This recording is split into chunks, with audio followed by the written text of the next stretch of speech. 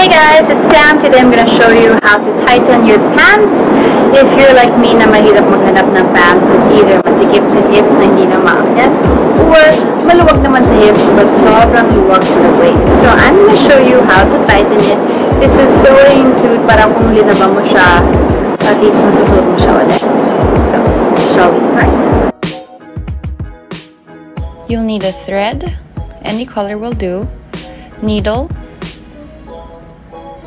safety pin, garter about an inch, scissors.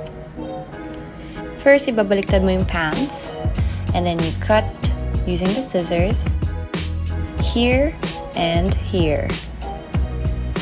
Just pinch it like this and cut the same size as your garter. So my garter is one inch, and so this is one inch. You just pinch it to make sure na hindi kita sa other side. Next, you'll need the garter, measure it, something like this, and then cut, and then get your safety pin. Ipin mo yung dulo Ito yung gagamitin mo para mapunta sa kabilang side yung garter.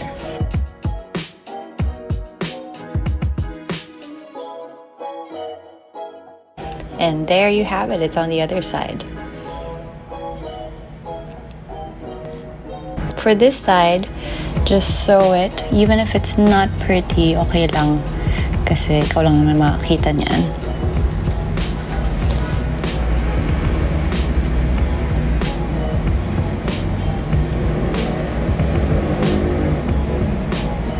For this side, I actually suggest to put the safety pin there para hindi gumagalaw yung garter.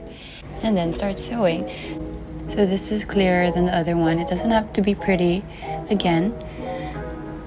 As long as it stays there when it's stretched.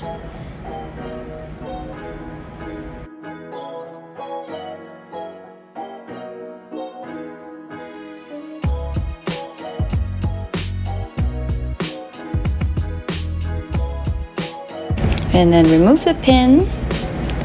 Now it's stretchy at the back.